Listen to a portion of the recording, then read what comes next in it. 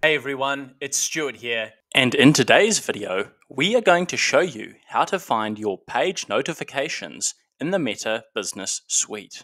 Now, just before we get going with today's tutorial video, consider subscribing if you are new to the channel and don't forget to tap that bell icon to receive all the Facebook and Instagram tutorials and tips from this channel.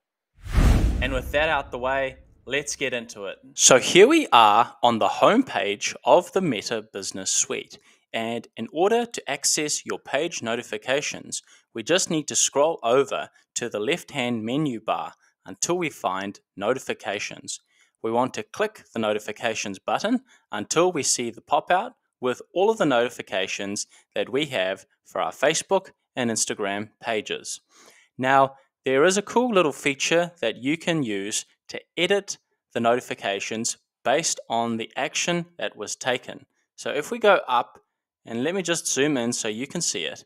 Let's go up to the top section here, and you have got filters that you can use to edit out the different notifications. So if you only want to get the notifications for comments that people have made on your posts, you can get that action. If you want to get message reminder notifications and see those, you can get those too. If you only want to get notifications for, say, Facebook, that is possible as well. And you can see now that I've only got notifications for my Facebook page and not for Instagram. Quite a cool little feature.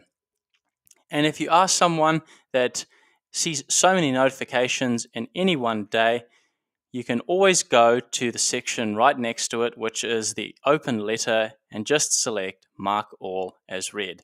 And that is then going to clear out all of the notifications.